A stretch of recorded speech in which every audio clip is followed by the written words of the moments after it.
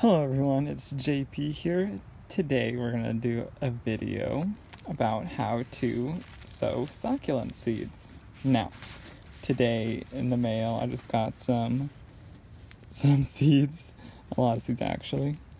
Um, some are different. This one is a gift. I don't know what that is. Um, I also am not sure what that is. I think that's also a gift but I got these ones for sure. We've got 10 ebony seeds, um, another ebony, some more ebony seeds, so that's 20 ebony seeds. Um, we got some Romeos, which will, which I'm really excited for to get more of those. And here we have 30 laui seeds. And I've already sowed some laui seeds and they turned out successful. So I can't wait to plant more of these. So yeah, let's get started. All right, so first, some things you're gonna wanna need is a sifter. Something like this, where it has some small holes like that. Um, you wanna launch your soil. Doesn't matter what kind, this is the kind I use. Um, you're gonna want a little tray this is some pre-made I already have. Um, and you're also gonna want some sand, which looks like this. This is your sand. As you can tell, it's very, very, like, you know, grainy. So yeah. All right, now that you have your sifter, let me show you how to do it real quick. You wanna lay that in there just, you know, shake it until you get that fine, you're gonna get this fine, fine um, soil. Once you do that, you're not gonna want to have a bunch of large particles. So this is what, well, because the seeds can't, uh, you know, root through those larger particles, so you're gonna want to, you know, mix that. All right, so there's not really a ratio. You can just like kind of go based off what you mix. Um, you know, it's not, it doesn't really matter. So you can just mix a lot of sand if you want. So it's like that kind of.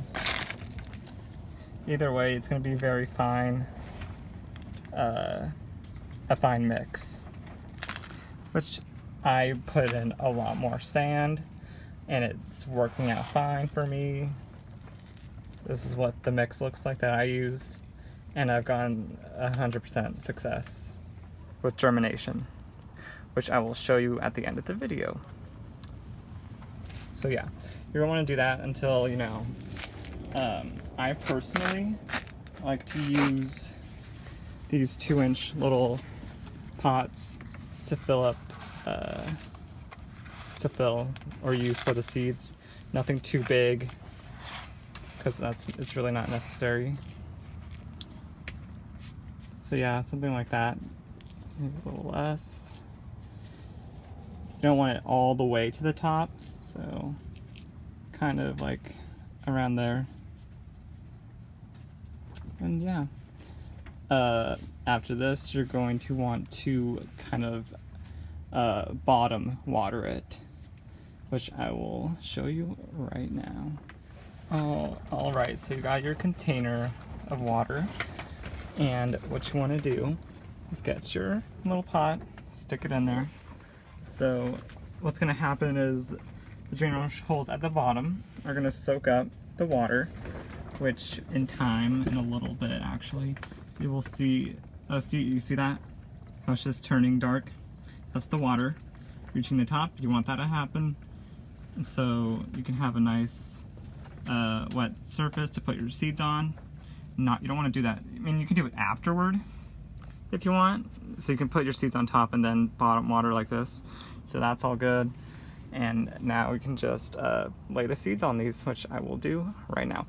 Oh, also, if you want, people also lay a fabric before putting the mix in. You can put a little fabric at the bottom so no uh, soil leaks out at the bottom, but I didn't do that. Uh, it's not a necess- it's not a necessity. Uh, nothing really. I mean, if you want, you can, but yeah, it's fine. So let's get those seeds. Alrighty, time to choose which seeds. Um, I already have some laui seeds going, which I will show at the end. Mm, let's go with the ebony seeds. Oh, as you can see, the seeds are super tiny. Like, look at that. Compared to my finger, yes, they are supposed to look like this. All, I want to say all Echeveria seeds look like this. As you can see, the laui seeds, uh, let's see. Uh, yeah, okay. See those tiny specks? Those are the seeds. And up here too, those are the seeds. They are very small. They are supposed to look like that. Like that. If you receive anything, okay, I'm gonna list. Um, I'm gonna give you the shop I purchased my seeds from, so you can go ahead and get yourself some. This is a very trustworthy shop. They have a really good uh, selection, and I'll also give a different uh, shops that you can go and purchase seeds from that are very uh, um, credible. That are very credible. All right. So yeah, most succulent seeds will look very small, and that is very much normal.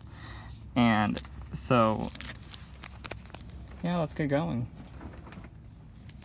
Also, what you want to do, um, you can like rip off the little label that they give if you want and stick that on there so you know what you're planting uh, or if you don't do that if you rip it you can go ahead and like you know make your own which is very recommended because you just want to know what you're um, growing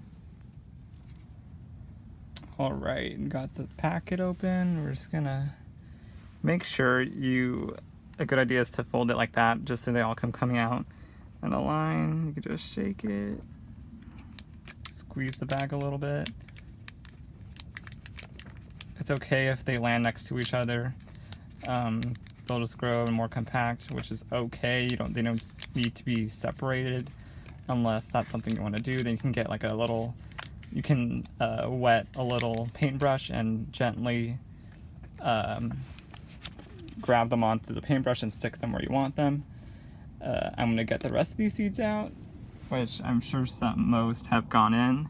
You're not gonna be able to see them, so yeah.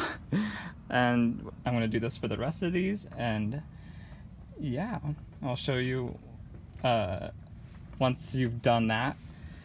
You're gonna want to get um, like a saran wrap or like yeah, like a saran wrap, and uh, place it on top of this, with, and like secure it with a rubber band. So it's okay. I'll show you. Alright, this took me a little longer. As you can see, the sun is going down. So, last thing you want to do is get some of your sand, just a little bit, like sprinkle, start sprinkling it over your mixture on top of the seeds in very light, very light amount. You don't even have to cover the entire thing, just, you know, lightly sprinkle it on top so it can kind of anchor those seeds in and not let them go anywhere. The seeds will sprout through. I've done this and successfully. Have multiple sprouts, so this does work. Um, so yeah. I hope you all have a good day or a good night. and yeah, I can't wait to see most of these guys germinate and grow and also for these you don't you want to have them in an indirect sunny spot so they can still get light like a like in a windowsill or a south facing windowsill where they get light through the window. Or you know uh, yeah that would work. And yeah so they do need light. And something very important you do not want this to dry out.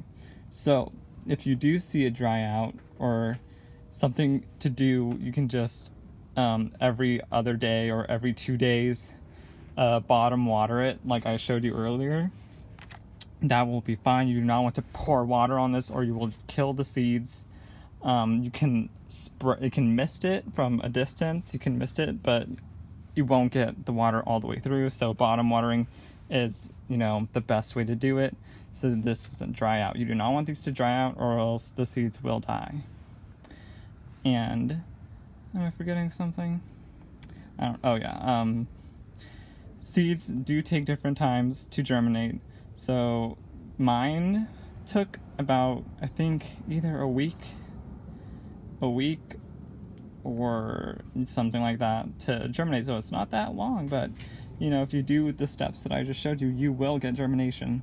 And again, I will link the shop that I bought from. They are I've gotten like 100% germination from them, so I'm just gonna list those. Um, and yeah, getting dark. All right, everyone. These are the seeds that I've sown uh, a while back. As you can see, sorry about that light. Look at all those sprouts, seedlings. These two are lithops, I believe. Okay, yeah, this is lithops rubra. This is lithops dorothy. That's something else I don't know the name of. These are the laui seeds.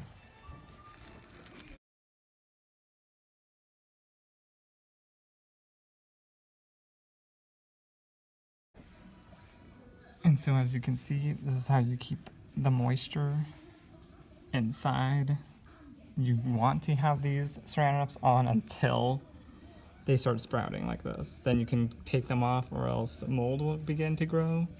So also this is where I have my little watering station. You just let them down and soak up the water. So yeah, these guys, as you can see, are still sprouting, but I want them to get a little bigger before I remove the plastic wrap. So this is a good thing. You want to keep this on all the time. These ones are also germinating, as you can see. These are lauis. These did take longer than the lithops. Lithops don't take that long to germinate, but these are starting to, which is amazing. So I cannot wait to do it with these guys. Cannot wait. Also, it does take a long time for them to become a full-on plant. You do not want to move these at all, like whatsoever, until they become to look like what they actually are. Then you can transfer them if you want. If you don't, you can just leave them where they are. But at this stage, you do not want to move them or else they will die. They're very fragile. So yeah, do not touch them at all until they become an actual plant, like what they look like. So yeah, even at that, you don't have to remove them, but you can just leave them be.